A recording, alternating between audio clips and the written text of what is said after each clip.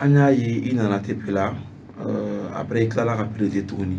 pɛrɛ ninnu nana cogo di parce que euh, tepe la deux club club fila de b'u bolo an b'a fɔ mɔgɔw ye u k'a faamu u ka équipe wɛrɛ fɛnɛ bɛ yen nɔ tuguni donc déjà voilà donc a kow kɛra cogo di voilà bon ko in dunnen don a ka dun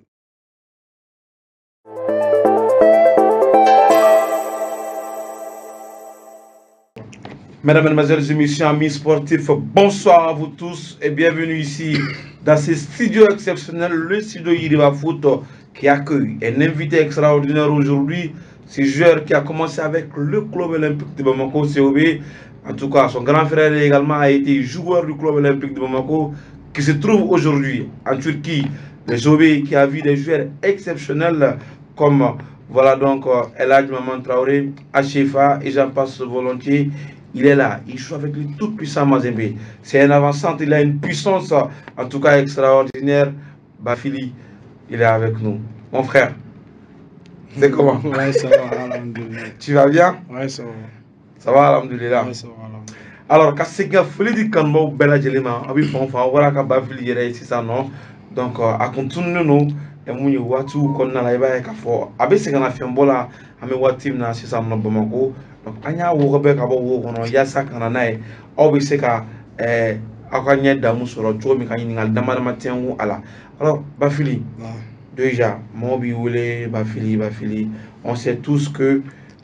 ɛɛ i ye mun ye an bɛ se k'a fɔ cogo min na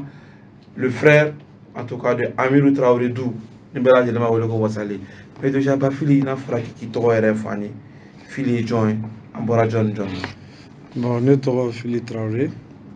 ne bɔra Kanyura Traoré la. d'accord o ye n fa ye an jɛnɛw togo la. alors ɛɛ togolako min de b'a la nin sa bon komi an ka musokɔrɔba don an tɛna se ka ɲɛnama fɔ.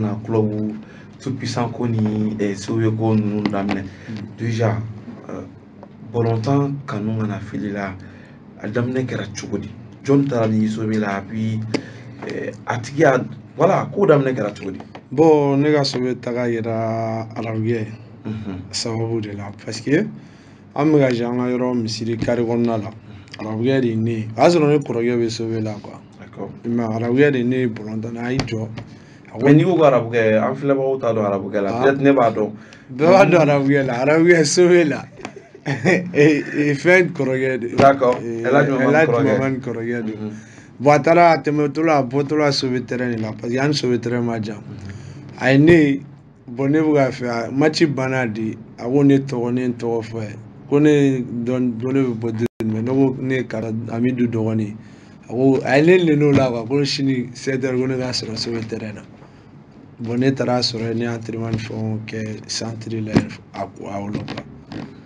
alors eh, i yɛrɛ ka intégration ka tila ka na première division na eh, segu bɛ kɔnɔna la i bɛ se ka dɔɔni ɲɛfɔ an ye o parcours la yanni an ka da don i ka kɔfɛla taali la parce que a bɛ il me semble que caman fana b'i ye ka jouer eh, championnat la kosɛbɛ minnu tɛ bɔlɔntanko kalama kosɛbɛ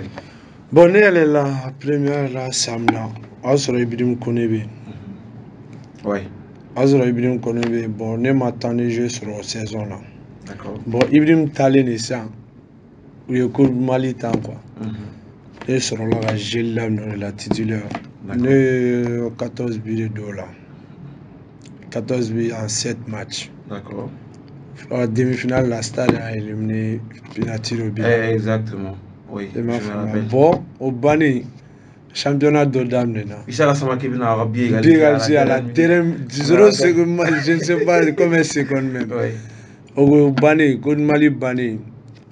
sanbila dɔ nana daminɛ ne ye san journée de t'a la o je ne sais pas sept journée sept journée cinq bi o de kɛra ne ka dɛrɛ match ye n ka dɛrɛ match kɛra contre fc sabanan moti o de kɛra n ka dɛrɛ match ye mali championnat la alors déjà championnat o kɛra mais o y'a sɔrɔ contactiw tun bɛ yen nɔ comment est ce que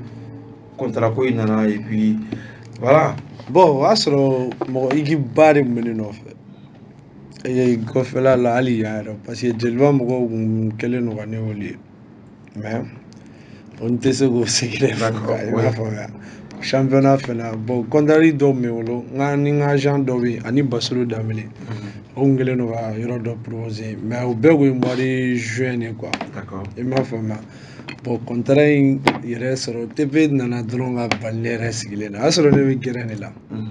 i m'a ye an sigilen bɛ gɛrɛn na a don an ni fc sabanan de tun ka aze sabanan kelen D'accord. i m'a ye bɔn ne sigilen bɛ gɛrɛn na zorɛr musa konate ne wele ne ɲina k'a bɛ ka ne ka position de ta ni n dalen don ni n dalen tɛ kuwa D'accord. Donc a b'o kɛ yan. bɔn n t'a dɔn a don kɔni y'a kɛ parce que match sabanan match a ko bɔn an ka gɛn kuwa victoire kuwa i ma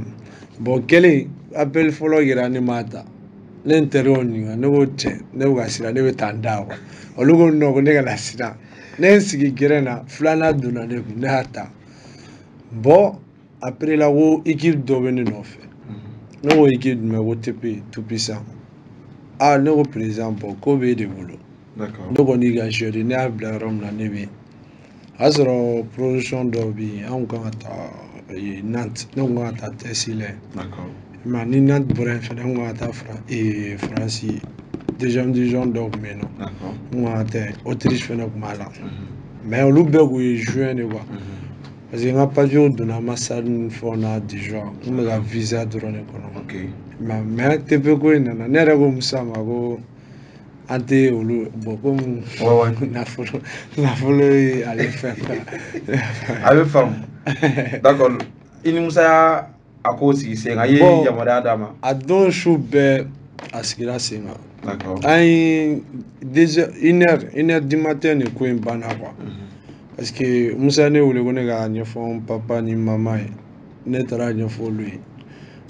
olu ye ne ɲininka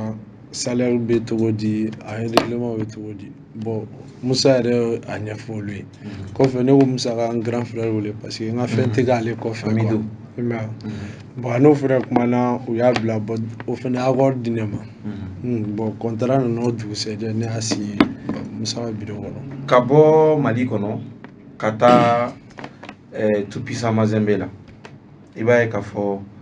eh, baara ma nɔgɔn dɔɔni i taara maliyɛn dɔw sɔrɔ yen wa i yɛrɛ i lafiyara wa ko kɛra dugu walima i ye gɛlɛya sɔrɔ parce que ka taa dugu la fili i tɛ dugu min dɔn ah, fo mɔgɔw de ka sɔrɔ i ɲɛfɛ minnu bɛ Bon. dugu kojugu ni fɛnw yir'i la Non, mais grand frère fo o ye Bozo. ibrahim boso mun kɔrɔ N b'ale fo, ale ye dugu nɔgɔya an bolo quoi. D'accord. Donc, big up également à Ibrahim Bosso Mukoro, l'international gardien de but.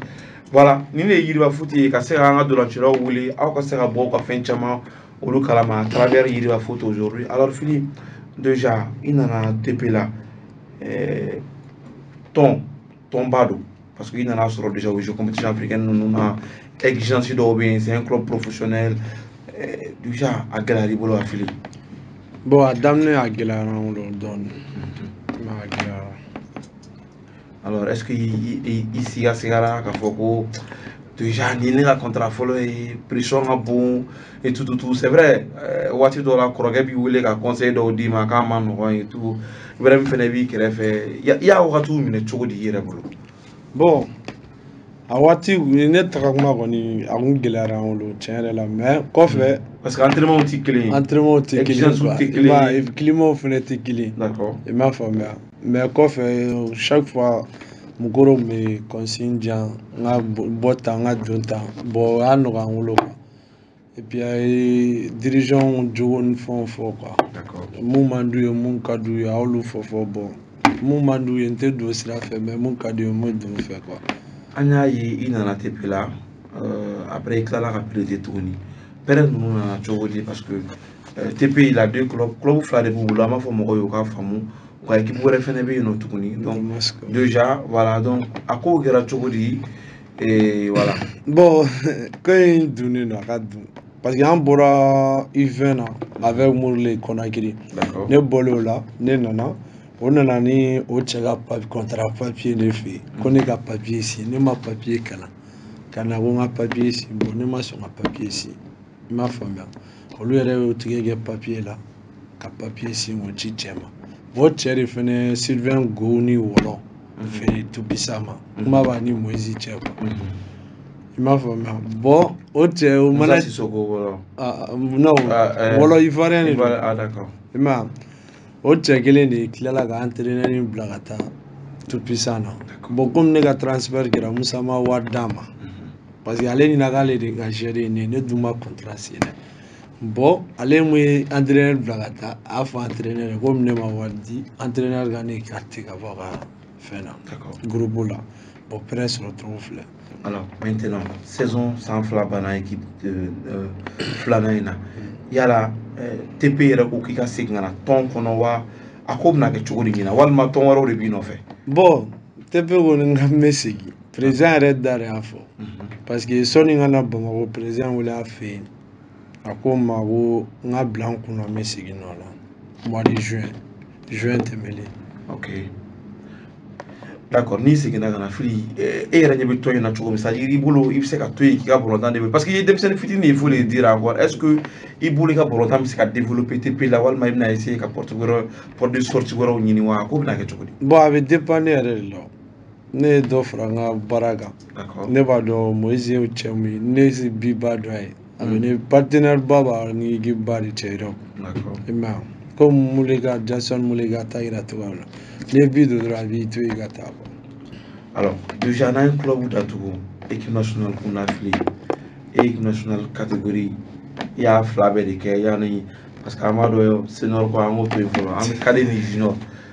c'est-à-dire i tɛmɛna sira jumɛnw fɛ bon ne ye kari plein selection kɛ okay. euh, idm y'a minɛ kari ko la mm -hmm. bon murule ka junior fɔlɔ mm -hmm. ne tun b'o la ne ye entraînement daminɛ o fɛ mais blessure ne b'o la quoi parce que euh, ne taara je sauve mɔgɔ ka match dɔ la ne sen kolo karila quoi platiri min bɛ ne sen na ne ma se ka to kan na mm-hmm.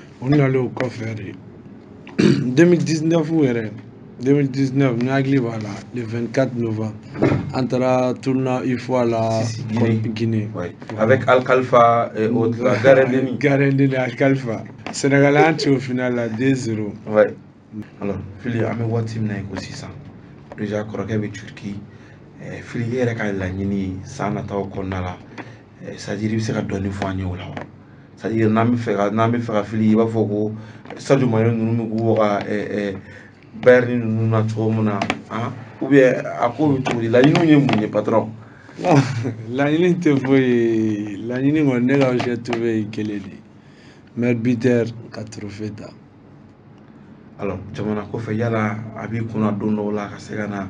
i b'a fɔ ko mohamɛdi kamara ninnu filɛ parce que i ka génération don u filɛ caman caman dɔn bɔlen mohamɛdi kamara ninnu ye pele selection ye ɲɔgɔn fɛ junior la voilà donc i fana ka se ka na équipe nationale 1 na senior la n'o ye ka se ka faso guloki don ka se k'i i jɔyɔrɔ fana fili bon a ka di a b'i ka laɲiniw na non a bɛ n ka laɲini na a ka di bɛɛ i ka si faso fɛ Déjà fili an sera eh, a ɲɛfɔ yen ale kuncɛyɔrɔ la mm. eh, i kanubaw i filɛbaw i bɛ se ka mun sɔrɔ ka f'u ye à travers Yiriba foot bon ne bɛ n kanuba bɛɛ fo a bɛ caman bɛ n soutenir n ka baara in kɔnɔna la n b'u bɛɛ fo u sara tɛ wolo kan n bɛ yiriwa fo mɔgɔw yɛrɛ fo ka cɛsiri la an bɛ dɔn kɛ ala ka plato ba nɔgɔya aw bɛɛ lajɛlen ala k'o dɔn minɛ ba kari jaw na o kadara o kɔni u dɔw ka d'ale ye kosɛbɛ le réalisateur celui qui réalise de belles choses aliou sow voilà donc fo ka taa se bajiri sori banba majari tarawele moi j'étais là juste pour présenter l'émission comme j'aime bien le dire on ne change pas une équipe qui gagne à yiriwa foot voilà parce que il aimait bien le dire l'autre, voilà. Et cette phrase, la voici. Briller, c'est bien, mais faire briller les autres est juste extraordinaire et nous. C'est-à-dire, nous sommes là pour mettre la lumière sur les acteurs du football malien. Voilà, donc, en bas, il faut que nous nous